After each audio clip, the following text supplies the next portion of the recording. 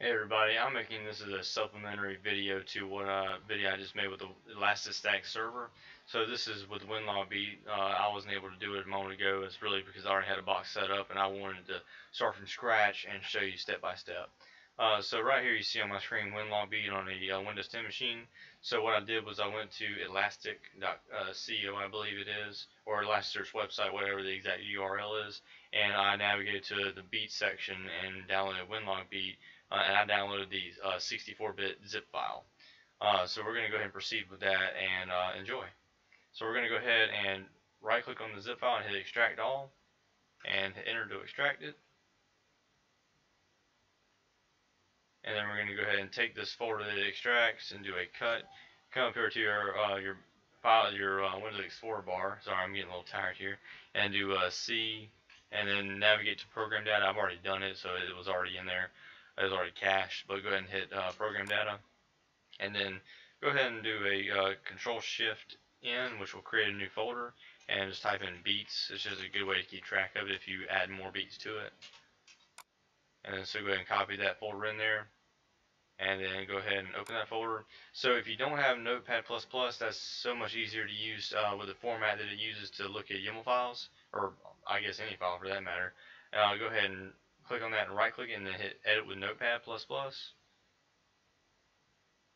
and then so here you see uh, it usually starts you at the top. I'm not sure why it started me there but anyway so there's a few things here you can do with it and I'll, I'll do the base things first. So what you have to do in order for this to work is come down here to, to output Elasticsearch and then change this to your server IP so it's to be 10.0.100.106 in my case. Alright so that's all you have to do to make it work. And you just hit save. But what I'm going to go ahead and do is uh, take it a step further. And then I'm going to go ahead and add in the uh, uncomment the setup dashboards and change this to true. And then I'm going to come down here to the host and then change that to the server IP address as well. What this is going to allow you to do is uh, load in the dashboards. So do when, you know, or uh, do 10.0.100.106 and then uh, I believe that was it for this part. So there's one other thing you can do, but I'm going to wait for that, and I'm going to get back to it. So go ahead and hit save on this, and then what you're going to do next is come down here and type in PowerShell, and open up a PowerShell window, and hit run as administrator. Alright, and then you're going to go ahead and do CD, C, and then that basically navigate to that folder in your, in your um, PowerShell window. So you come out to program data, type B, and then tap for beats, and then W tab, and it's gonna and then hit enter. It's gonna take you straight into that folder that we just put there. Do ls, and this will show you all the files inside that. And so now what you're gonna do is do a PowerShell, and then do tac exe, or I'm sorry, execution policy, and then bypass, and then just do in, and then hit tab key, and it'll uh, go ahead and tab out the install script for PowerShell with uh, WinLogBeat. So go ahead and hit enter with that, and then it's going to install the service. So next what you can do is go ahead and do services uh, MSC, and this will bring up your services window, and just uh, click on one of these and then type WINL, and it'll take you straight down to the WinLogBeat service, and go ahead and uh, right click and hit start. Alright, so it says it's running. Make sure it says make sure it's still running by hitting refresh. And that way you'll refresh the window and show you make sure it's running. Alright, so that at this point that's done. So what you want to do is come down here and type in WIN and it's going to bring out winlogbeat.exe space and then do setup. What this is going to do is go ahead and load the dashboards in for WinLogBeat to your server since we just set up that uh, that part of the YAML file. So go ahead and hit enter and it's going to take just a moment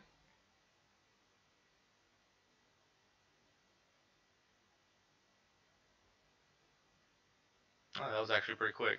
Alright, so once that does that, you can, you can choose to go back and you can uh, comment these out. Uh, you don't have to, but if you want to, you can. Uh, the other part to this, before I leave this part, um, before I leave this area, is do a get event log and then do a star. What this is going to do is bring up all the current events that your computer puts out, whether it be application based or security based or system based. So uh, the system, security, and application is already in there uh, uh, let's go let's go up a little bit. I'll show you. So right here you have application already in there. You have system already in there.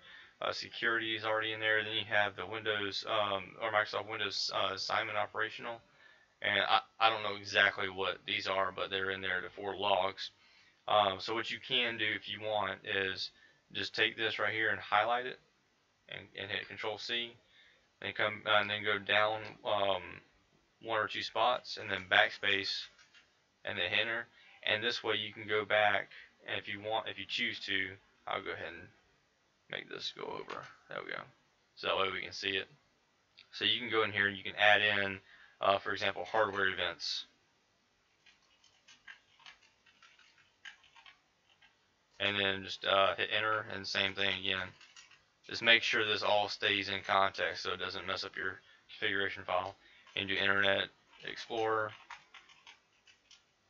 And I'll just add one more in there so you can see it. We can do Windows PowerShell just because uh, I'm already using that.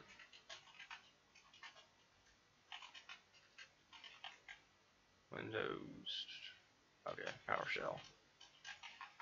Alright, so what you need to do here is simply hit the save button and then go back to your services and then restart the service. Alright, so once you do that, you're done here. Go ahead and exit out of all these windows and we're about to head over to the server. Alright, so just uh, click over here. This is my server. I'm going to go ahead and log back into it.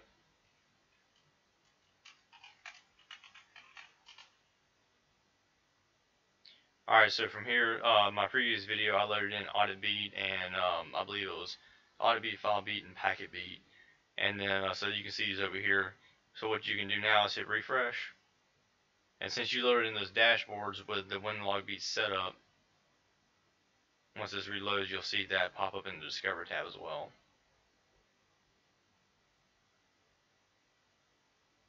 Alright, so if you drop, hit this drop down menu, you'll see WinLogBeat here. And this will show you all of the logs that are coming in. Uh oh. Must be no logs yet. Okay. Alright, we'll come back to that in a moment. So go to dashboard and I'll show you where the dashboards are. Alright, so if you're already in, in a dashboard, that's what's going to pop up. So go ahead and hit the dashboard button up there. And all you need to do is come to the search bar and type in WinLog and then uh -oh, too too many O's. There we go. Alright, so just hit WinLogBeat overview. Okay, so you'll see all the uh, beats or all the logs that have gone over in the last hour. And so right now it's just informational. I don't think this uh, this guy is putting out a lot of logs at the moment, and and it doesn't always unless unless the computer is doing something you know uh, actively. Uh, you may you may not see anything, but see right now you're seeing it slowly populate. I'm not sure why it wasn't populating in the Discover tab a moment but we'll go back and look. Okay, there we go. So for whatever reason, is it may have been having a moment.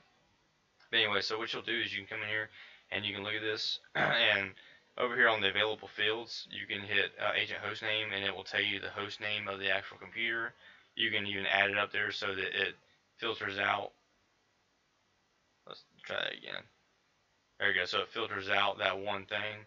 And then you can come over here to the search field names and type in message, for example, and then hit add. And it will tell you the actual message that is being put out for that host name. And this is just, you know, the scratching of the surface. So, you know, you can do more more of this, all you gotta do is come up here and hit remove. and I guess the other field wasn't in there anyway. Okay. Oh, so where'd it go? Alright, so we're gonna go ahead and exit out of that too. Oh, that's oh, you know, that's good. I still have the mess filtered out. Okay, there we go. So anyway, so you come down here. There's multiple things that you can look at. You can even see the uh, the host host name is the same thing as the agent host name. Uh, the host architecture, you can tell whether it's a 64-bit uh, system or 32-bit system. You can even look at the host MAC. I mean, there's so much stuff that you can look at. And, and the point of this is to put WinLogBeat on your servers or your Windows machines or whatever, and then have all of them send their logs to a central point so that you can view them all at once or you can filter out what you want to view.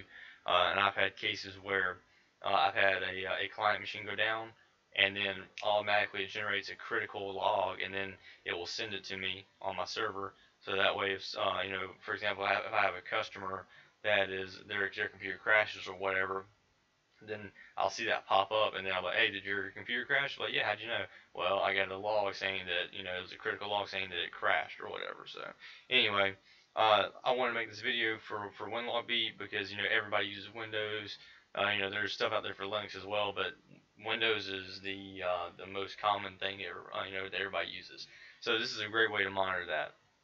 But anyway, I hope y'all like this video. This is again, this is a self supplementary video to the Elastic Stack server uh, video I made. So um, like it, comment on it, and please let me know your thoughts. And please subscribe. Y'all have a good night.